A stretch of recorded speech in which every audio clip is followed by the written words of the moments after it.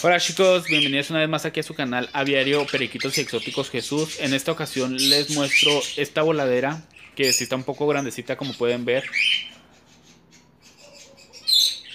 se ve un poco sucia de abajo, pero es puro el pistle que ellos mismos tiran.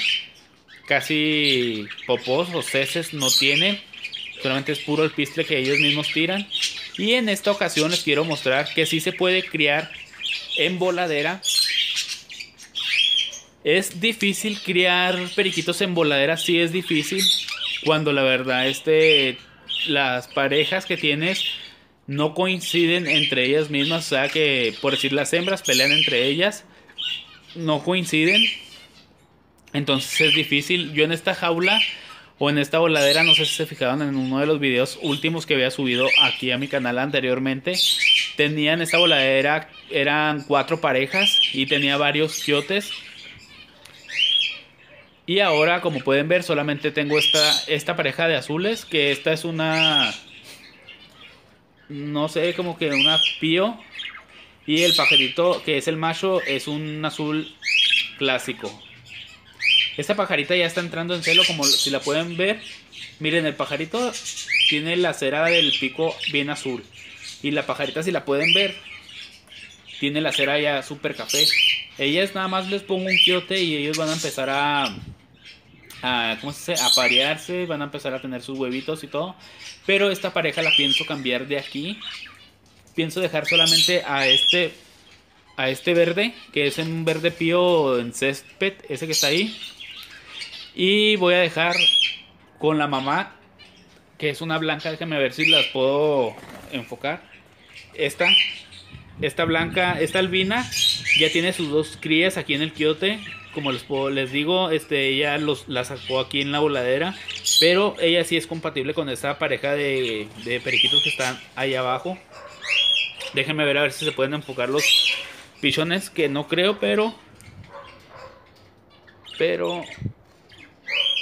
No, es que todas están muy, muy, muy chiquitos. Están ahí.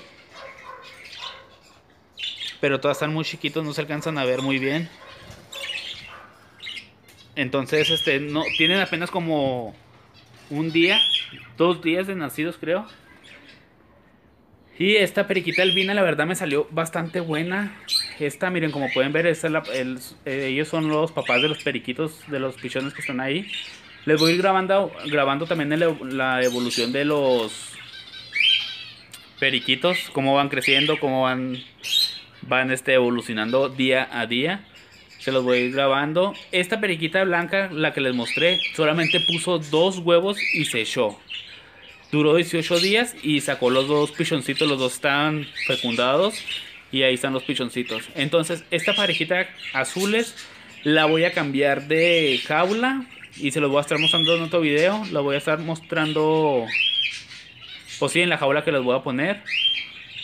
Porque quiero sacar crías con esta parejita. Tengo otra parejita acá, ahorita en otro video les voy a mostrar otras dos parejitas. Y les voy a estar diciendo cuál es la que voy a sacar de cría. La voy a meter a la voladera grande que tengo a mis espaldas.